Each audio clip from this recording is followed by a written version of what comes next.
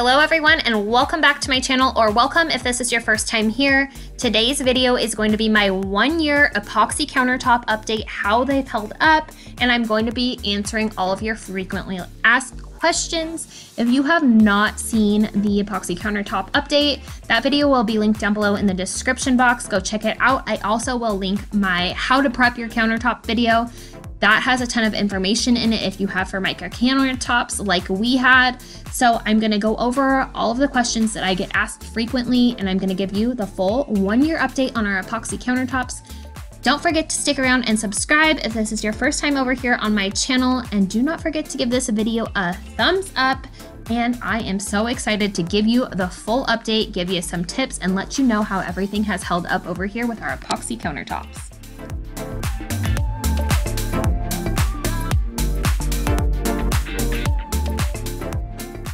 The first questions that I'm gonna go over are, does it bubble up and can you see the texture? As you can see in the video, yes, you can see the texture, but it is mostly when the light is on it and when the light hits it. And did it bubble up? Yes, there were certain spots that did bubble up, but for the most part, it levels itself out. We use the Leggari epoxy countertop kit and it is very self-leveling. You do not need any heat for it to pop bubbles or any of those things that you may see in other epoxy countertop videos. This is very good at self-leveling. There were only a few spots that did have the little bubbles that did not go away. The other questions I'm going to answer are, has it chipped? Has it yellowed? And does it stain? There are some areas that have chipped like I just showed you with my finger a few seconds back, but mostly because I dropped stuff on it on the edges from very high up, heavy stuff that hit it just at the right angle. It does not chip easily. And there are some spots that have stained, mostly this spot. This is the biggest stain that we have. We do not know what it's from. I've tried everything that Leggari, the company that we used, has recommended to try to remove the stains and it just will not budge. I wish I could tell you what caused the stain in case you are going to epoxy your countertops, but I have no clue what it's from and we cannot get it up. The most frequently asked question that I get is, have they yellowed? Has it had any yellowing? Is it yellow now? Because they were so white when we first started them or when we first did them. And there are areas, especially that area, I don't know if you can see it on camera, that have yellowed, but not bad. The light has to be just right to really see it. My husband doesn't even notice it half of the time. So yes, it has yellowed, but it's not bad where I would not recommend the product. It's really very faint yellowing. They still look very, very white. One thing that I don't really get asked about is how the backsplashes held up, but I wanted to tell you guys anyways, because this is the area where we had the most difficulty when having it set up and when we were doing it, because we didn't really pay as much attention to the backsplashes as we probably should have, because we have all these run marks on the back there. They bother me, they drive me nuts. I hate seeing them, but I don't really know how to fix them now that it's all set up and we've had it for a year. But my tip for you, if you are epoxying your countertops is to, and you have these backsplashes, is to keep a roller on hand, watch them, and roll out any drip marks before it sets up completely. Because once it's all set up, I don't know if there's any way to fix it. We tried sanding them down, but they didn't budge.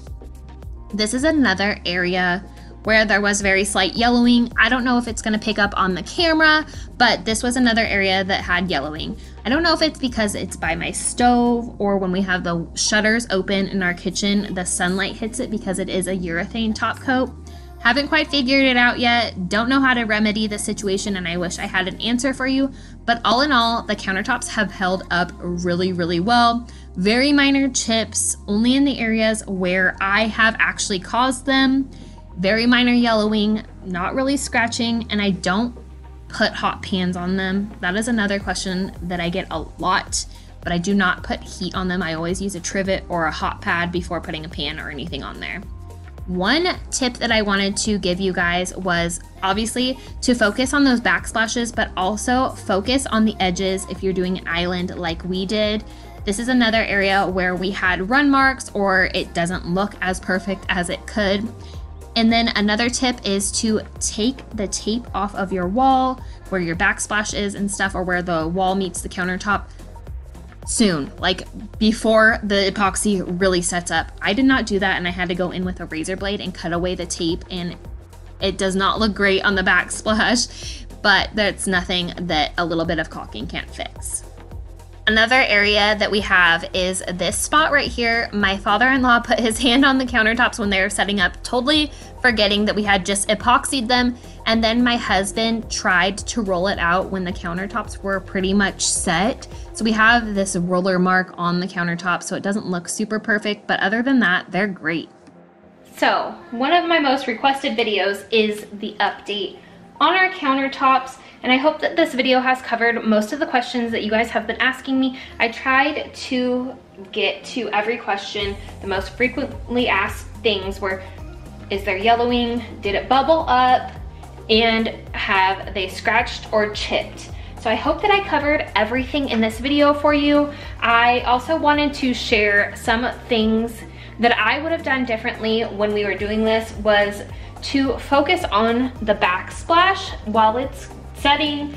We did not do that and I really wish we would have had a roller on hand and just kind of kept rolling it to make sure that it was smooth so that there aren't these drips here because we do have issues with the drips, especially over here in this corner and as well as the front of the island too. That is one of the major things that I noticed after we did it. But other than that, they have held up really well besides this stain right here, that big ring. We don't know what caused the stain, but that is the most stained area. They've yellowed slightly, but it's nothing that you would notice coming into the house. We mostly notice it because it is our house and we look at the counters every day. Sometimes my husband says that he doesn't even see the yellowing. So with that being said, would I recommend epoxying your countertops? Yes, I definitely would. If you are looking to do granite, quartz, or anything like that, a marbled countertop, and it's just not in your budget right now, I think the epoxy countertops are a great route to go. We used one kit on our countertops, and I believe the kit is about $400 with Leggari, and you get your primer and all of that stuff. You get a highlight color. I know in my video I did spray paint to get my highlight color achieved here, you don't have to do that. You can use a completely different technique and use the actual highlight that Leggari provides for you. I just saw a video of theirs and I really wanted to try that technique out. That is the only reason why I used the spray paint method in my video. So I hope that this video has helped you guys decide whether or not you want to epoxy your countertops and you think it's going to be worth it. All in all, yes, I would recommend two epoxy countertops it worked great. We've had ours for a year now and they've held up really well. I like I showed you, we do have some minor chips, very slight yellowing, one random stain, and I've tried everything that they recommend to remove the stain and it just won't budge. They recommended letting a baking soda and water mixture paste sit on top of the stain. They've also recommended using denatured alcohol and neither of those things got the stains up, but it is what it is. It doesn't bother us too much, so we're just gonna leave it. One day down the line, we will completely replace our countertops with a quartz or something, but for now, this is a great affordable solution to achieve an updated look in your kitchen. When we did ours, it took about a day to do everything in the kitchen for the countertops because we had to prep them. We sanded them, we prepped them with Bondo. I have a full video on that if you haven't seen it yet. So before you embark on your epoxy countertop journey, go check that out. We had old Formica countertops and we completely redid them with the epoxy kit from Leggari. I highly recommend that you try this if you're trying to find an affordable way to update an outdated kitchen. Ours was very outdated. If you haven't seen the epoxy countertop video yet, Go check it out. I apologize for the sound. It was one of my first DIY videos. So the sound level between my voice and the music is not the best. So apologies for that if you haven't seen it yet, and apologies if you have seen it. Anyways, epoxy countertops, do it. You will not regret it. They do stink, so do it in a well-ventilated area. Another tip that I can give for you before embarking on the journey, if you haven't seen my video, is to close your vents, especially right now during the winter when the heater is going. Close your vents so you're not getting lint, dust, or anything setting in your epoxy while you're doing it. I hope you enjoyed this video and found it informative and I hope that I have answered all of your epoxy countertop questions.